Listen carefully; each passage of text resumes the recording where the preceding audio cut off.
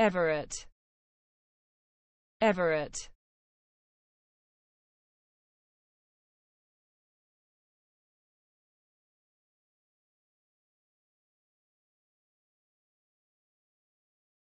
To castrate, to render weak or unmanly.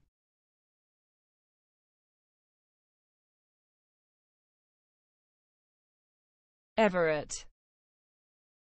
Everett